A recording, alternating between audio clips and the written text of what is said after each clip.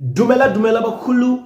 This is the day that the lord has made and eh, ndangoti ndingoya panapa nenews dzamanga makamirira nyaya update eh, dzanga makamirireko zvinezvi nyaya ndiri kuya nayo ndakakubatirai panapa iri kunzi president ed munangagwa has left china where he was attending the 2024 focac summit. On the sidelines of the summit the president held bilateral talks with the uh, President Jinping as well as business meeting with Chinese corporation over 17 MOUs and agreements were signed.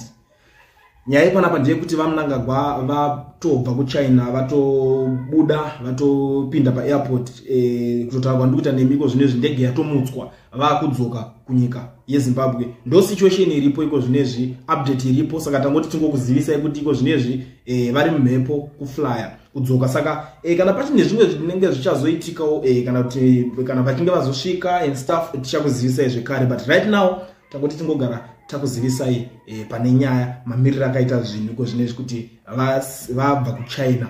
Ndo situation iri panapa panonzi paculient patinokupai maupdates akasiyana siyana so kana uchinge watisvikawo panapa iri first time yako its very important ugare wasubscriber wolike this video tichizozivisana zvimwe zvinhu zvichange zvichiitika pamazuva ari kuteera iwaya. Nekuti zvizhinji zviri kuda kuitika